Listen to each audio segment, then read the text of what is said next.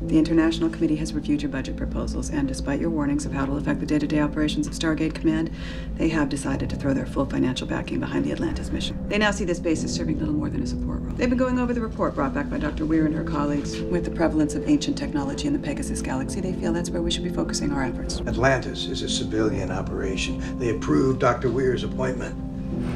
The reason they don't want to support Stargate Command is because they have no say in how it's run. That's what General O'Neill said. He also said he'd be willing to go to bat for you with the president.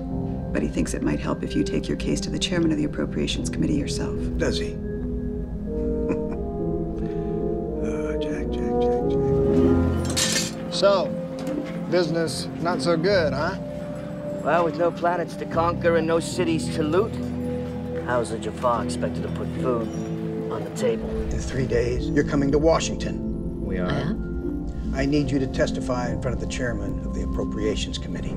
Let him see exactly what we're up against. Your experience with the Ori could go a long way towards convincing him of the dangers headed our way. Right. Finally, after eight years and billions of dollars spent, Goa'uld have been neutralized along with the replicators. And now, suddenly, out of nowhere, along come these magical Ori requiring a redoubling of efforts and expenditures. Exactly what are you suggesting, Senator? The Stargate program has succeeded in acquiring alien technology. If you shut down this program now, when it's needed most. So now it's time to devote our resources to exploiting those technologies for planetary defense, namely by building more Daedalus class ships. Now, we have no intention of shutting you down completely. You will continue to operate at 30% of your current budget. I think you will find that that is more than enough money. Not at this price or this level of competence.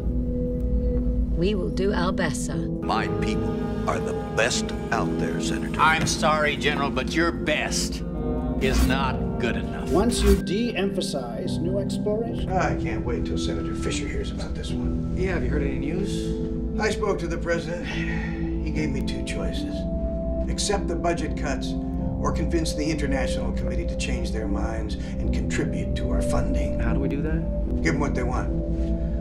A new civilian position appointed by the committee with full access to this base and a say in all major decisions concerning its operation. Watchdog. Exactly.